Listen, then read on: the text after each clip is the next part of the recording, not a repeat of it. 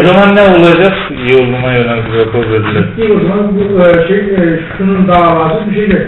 Nasıl? Bunun, bunun adamın da derdi sen öğretmenlikte el çektirme. İşte onu diyorum. E, bu sana doktor da derse ki akıl ve ruh sağlığı öğretmenlik yapmasına mani değil mi?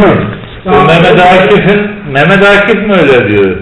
Veya Serap Hocam veya Metin Uçar mı? Onlar